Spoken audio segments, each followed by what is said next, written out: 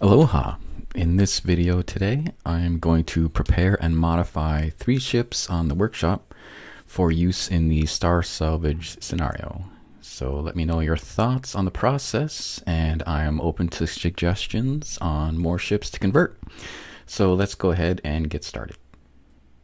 So if I go to the workshop and I look at top rated all time, the most popular over all time, let's pick a capital vessel. And let's look for a popular capital vessel that we can integrate into the game. Choice. Ooh, Dadrick. Actually, yes. Yes. I like his builds. So let's subscribe to that and copy the page URL for later reference to give credit to the author. Okay. We're also going to look for a popular SV. This one is perfect. The Gladius by Mr. IceCat. So we're going to subscribe to that. And we're doing the same thing for a hover vessel. And we found the Legacy Framelock, Day Zero, subscribed from XCaliber. And again, we're copying the URL for that one. So we've loaded up our Star Salvage creative game. We've got some work to do. We can use these as examples as we create ships for Star Salvage. So let's bring in one of our ships that we subscribe to. Let's see here. Why don't we start with the Gladius? Actually, why don't we start with the HV? Where is it? The frame lock. D0, spawn that in. And here we go. Alright, so there's five phases on what we want to do. Phase one is removing any um, high value devices. Phase two would be damaging blocks. Phase three would be replacing blocks with damaged or truss blocks. Phase four is paint, painting dirty symbols on it to give it a weathered appearance. And phase five is saving. So here we go. Why don't we start with phase one, removing any high value blocks in here, such as warp drives or shields, and obviously the HV. It doesn't uh, doesn't really have any high value items that I would say. So I don't think we have to remove any devices. Um, so we can just skip that step. All right. So the next step is damaging, and we've got the pistol for discrete damage. And we've got a minigun for more of an area of effect, or a spray damage, I should say. The rocket launcher would be more of an area of effect damage. Alright, so our goal is to randomly damage the ship using one of those three weapons. Uh, most of the blocks should be damaged to a degree. We want to check damage levels with a multi-tool. So as we can see with the multi-tool, some damage. I want to want to damage most of the blocks here, so I'm going to paint this a bit with the minigun. Paint might be the wrong word. All right, if we take a look with a multi-tool, yes, we can see uh, it's pretty banged up. It's a little banged up, I should say. It's salvageable. Hey, because this is Star Salvage. All right, so we've damaged it. I believe, sufficiently well. So let's move on to phase three, replacing blocks. So I think I want to replace these side blocks that were here with these damage blocks. Let's see if I can find the right piece. I think replacing this block with that would look nice. I want to click on N and lock the color palette.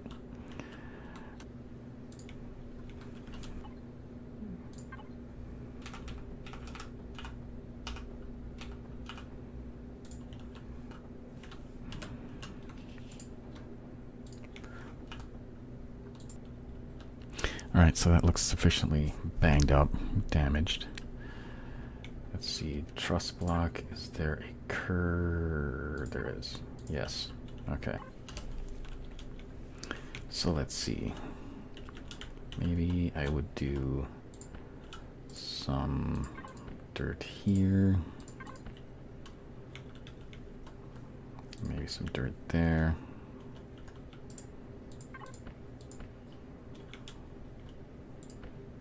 Okay, so um, I think I'm alright with uh, with the dirt symbols on that one. So I'm gonna say the painting is done. Now I want to give the entire ship a once over. Does it look like a ship that we would find in the game? I think it has too many ground repulsors, so I am actually going to make this a little bit more difficult for the player by removing one so that if they get in here, it might be a little difficult to steer because the nose would keep hitting the ground. Yep.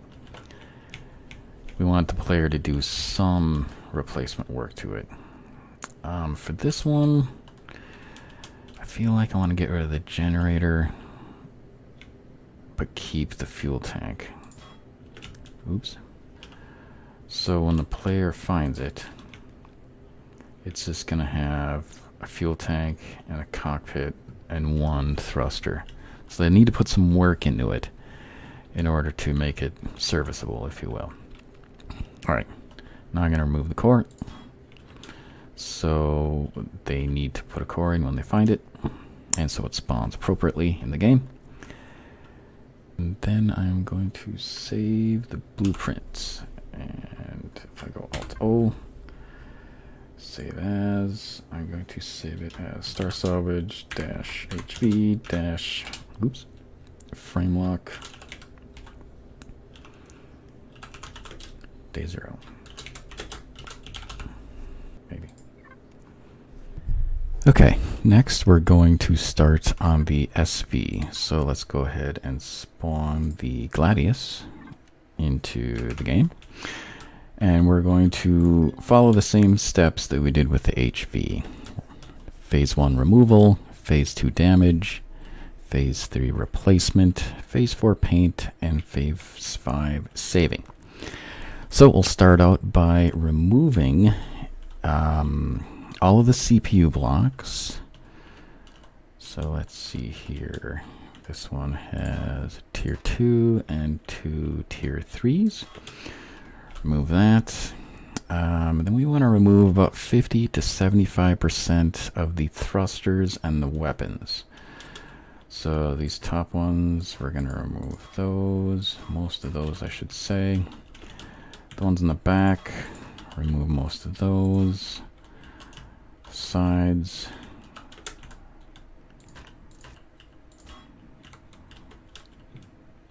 Let's see here on both sides. Little hard to see. Alright, oh, there's some more in the neck of the plane. Know, it's probably the wrong way to say it. Let's see, we got two front thrusters, so we're just going to remove one, leave the other one. Yep. Yep.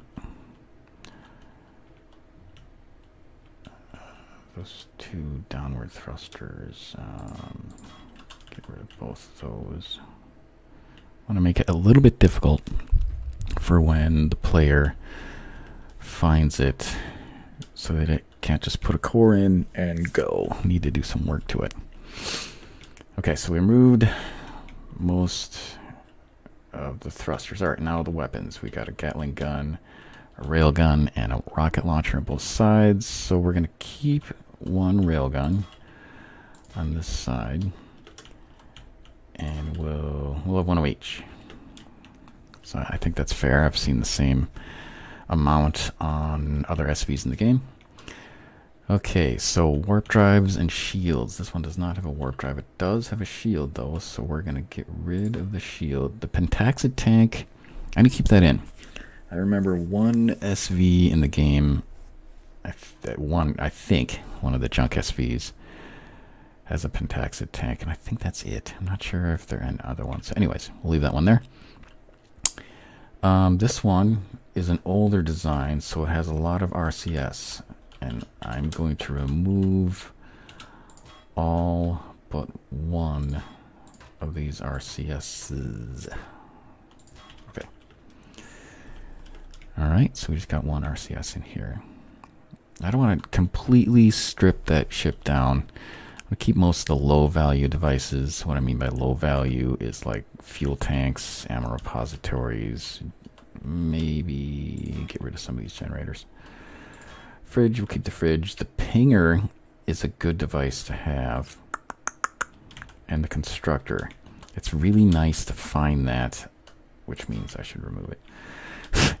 okay, so we're going to keep the constructor, the pentaxid tank. Um, hmm, do I want to keep one generator in it? Because that's not going to be enough power to move it. 102 tank. Okay, great. We removed most of the thrusters. All right, I'm, I'm good with those devices. We'll keep those in there. So removal phase done. Now next phase is damage. Randomly damage the ship.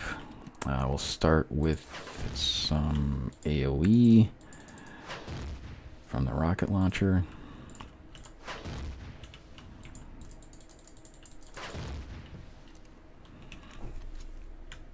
Go around the ship a couple times. Make sure it's nice and banged up.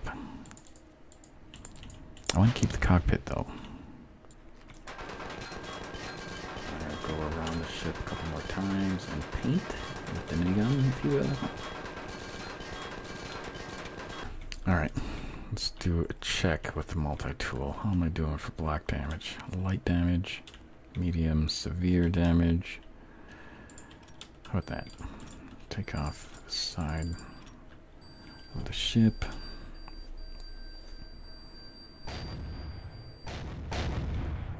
Nice, nice. I didn't want any pieces hanging. Okay, so I've circle strafed the ship a couple of times with the minigun the rocket launcher and C4 charges. Uh, yeah, I think the damage state I think I'm good with this. All right, so let's move on to replacing the blocks.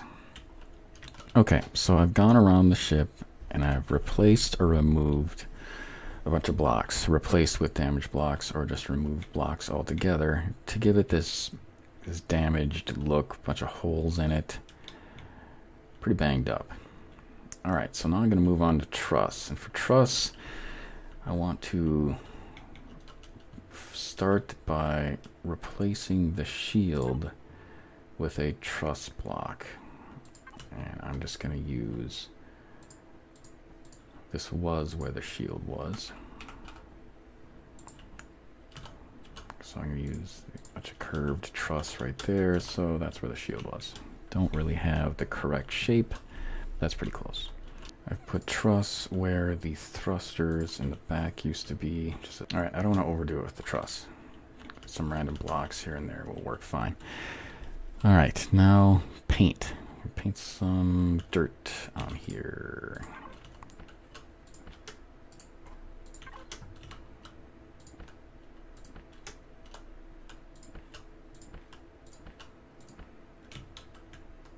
All right, I give it a little bit of dirt in the bottom. I don't want to overdo it again. Okay, so now I want to give the entire ship a good once over. Is there anything else I want to change? Damage, destroy, replace, paint. I think this is pretty good. I think. Alright. Uh, ship Gladius. Mr. IceCat. Apologies. I'm sorry. Had to be done for Star Salvage. Okay, so we're going to remove the core. We're going to save the blueprint and we're going to move on. Alt O, save as, Star Salvage, SV, Gladius. Uh, I already made a copy, so I'm going to make a second copy. Okay. Great. So we are done with the SV, and now let's move on to the CV. Okay, so for the CV, we picked the Eclipse. And I'm sorry, what is it called? The Eclipse, yes, the Eclipse Pikeman from Dadrick. So let's go ahead and spawn this. Ooh, it's big. All right. Put that right here. And we're going to do the same thing that we did with HV and SV to the CV. Now, this one I have not looked at yet. I'm subscribed to some of Dadrick's uh, blueprints on the workshop, but I haven't looked at this one yet. So I need to do a run through and get familiar with the ship, and then I will start the um, removal, damage, replacement, paint, save process. Okay, I did a quick run through, and this is a nice ship. I actually want to take this um, on my next playthrough of uh, Vanilla or Reforged. It's a nice little starter CV, so I'm I'm not gonna give a tour. I'll save that for Jay Randall's "What's New in the Workshop" videos. Um, but yeah, this this is a really nice ship, and again, it's gonna be a shame to uh, make a beat up version.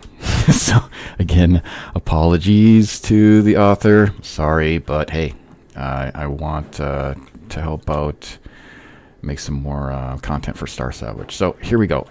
First is going to be removing any of the uh, more delicious parts, if you will. So we'll do that. All right, I removed all but one of the minigun turrets.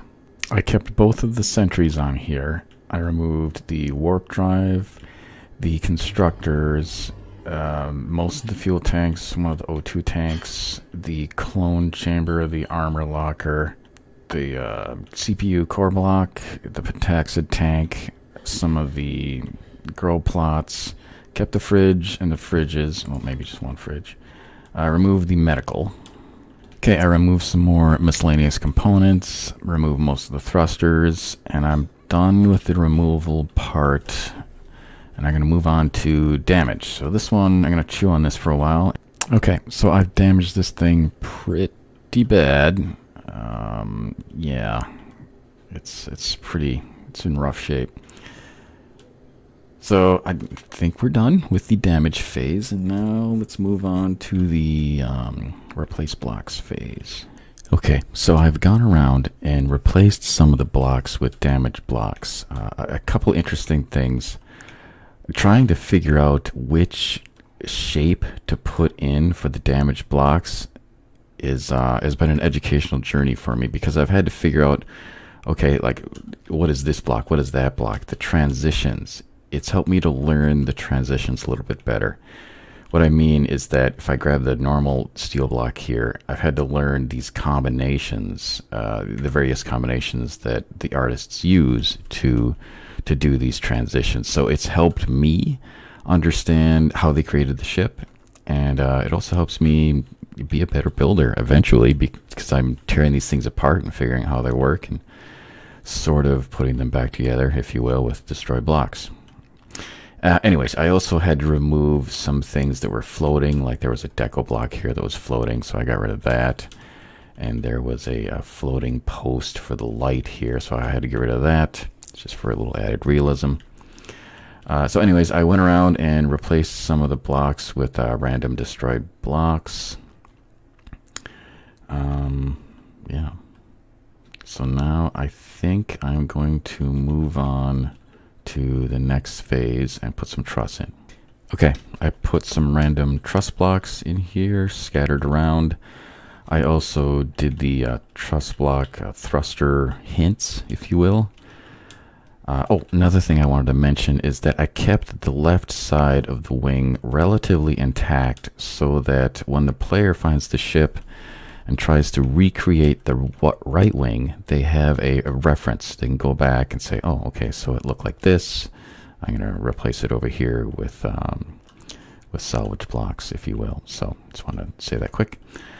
Uh, I um, put a truss block warp drive in this area as a hint to the player that, hey, this is where the warp drive goes. And a truss block, pentaxid, and CPU block there. So yeah, a couple hints for the player uh, to say, hey, here, uh, here's some engines and some warp drives. So truss blocks are done, and now paint. Okay, I finished doing uh, the um, painting the uh, dirt, if you will. So this time, instead of painting uh, the dirt on the bottom of the ship like I did with the HV and the SV, assuming it you know was coming in for a landing and, and slid down and it's been in the dirt for a while. This one it has some landing gear still, and my thought was a little bit differently. Everywhere there's a hole in the roof, I went ahead and put that uh, that the dirt or or uh, mold or whatever you want to call it, symbol or decal, so that um, my thought was okay, the weather, the rain, the what have you has been uh, weathering away at it since uh, there's a hole in the roof. So everywhere there was a hole, I went ahead and put some of that uh, dirty decal stuff down there. There's some right there in that hole. There's a hole right here, so I put some decal work right there as well and it's a big hole in here and it's gotten all moldy and nasty and dirty. So whoever gets the ship has to start scrubbing this away. So uh, yeah that was my was my thought for for that decal work there. So I think I am done. So my last step is to save it. Uh, before I do that I'm gonna, just gonna give it a quick once over and ask myself if anything else needs to be removed or damaged or replaced. This one's been pretty beat up. So I, th I think it's a good candidate uh, for use in the game. So I'm going to go ahead and remove the core, save the blueprint, and uh, yeah, send it on to see if it gets accepted. All right. Okay, I've saved the CV and the Eclipse Pikeman and the Gladius and the HV uh, frame lock day zero. They are all ready to be sent on. And again, I just use the existing ships as a reference, both the original blueprint and the one that I found in game, to try to figure out how to convert these for star salvage. So thank you so much for joining me. Have a great day.